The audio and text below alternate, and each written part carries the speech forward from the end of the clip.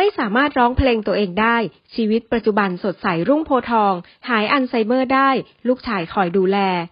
นักร้องดังรุ่นใหญ่เจ้าพ่อวงการลูกทุ่งยังสดใสรุ่งโพทอง เจ้าของเพลงดังรักน้องพร ที่ล่าสุดได้มาเปิดใจผ่านทางรายการ งานเยอะขนาดนี้ทุกคนจะมองว่าต้องมีเงินเยอะ แต่ไม่น่าเชื่อเลยว่าคุณอาเคยเป็นหนี้เป็นสินด้วยเพราะสมัยนั้นทำวงต้องรับผิดชอบทุกอย่างเลย พยายามหารายได้ให้ทีมงาน ตอนนั้นเป็นหนี้เป็นสินอยู่หลายปีนะ น่าจะหลัก2-3ถึงล้าน จนทำให้ต้องยุบวงไปในที่สุด จากได้ค่าตัวครั้งละเป็นหมื่น ต้องไปร่วมร้องเพลงในเวทีตลก ได้ค่าตัว2-3ถึง300ก็ยอม ตอนนั้นล้มเลิกทุกอย่างและเดินทางกลับบ้าน แต่ฟ้าหลังฝนเมื่อได้มาอัดเสียงในเพลงรักน้องพร กลับมามีชื่อเสียงอีกครั้ง และทำให้สดใส